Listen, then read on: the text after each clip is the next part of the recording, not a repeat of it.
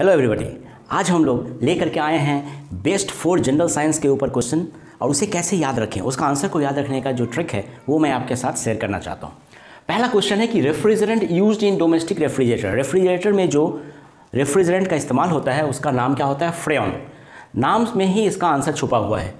Referee का spelling में क्या है? एफ़ आर और फ्रेन गैस का स्पेलिंग में भी क्या है? एफ़ आर वेल इसका फॉर्मूला है C C L two F two यानी die chloro difluoromethane second question है what is tear gas tear gas जिसे हम लोग, जिसे हम लोग कहते हैं आँसू गैस।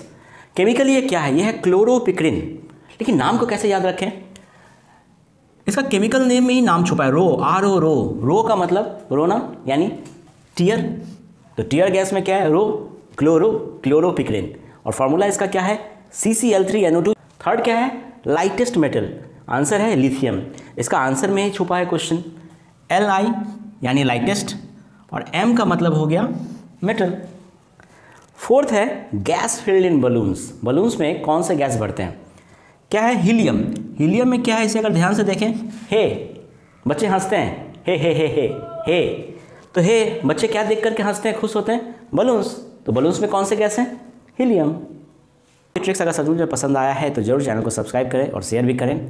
फिर मिलते हैं आपसे कुछ नए ट्रिक्स के साथ। तब तक के लिए गुड बाय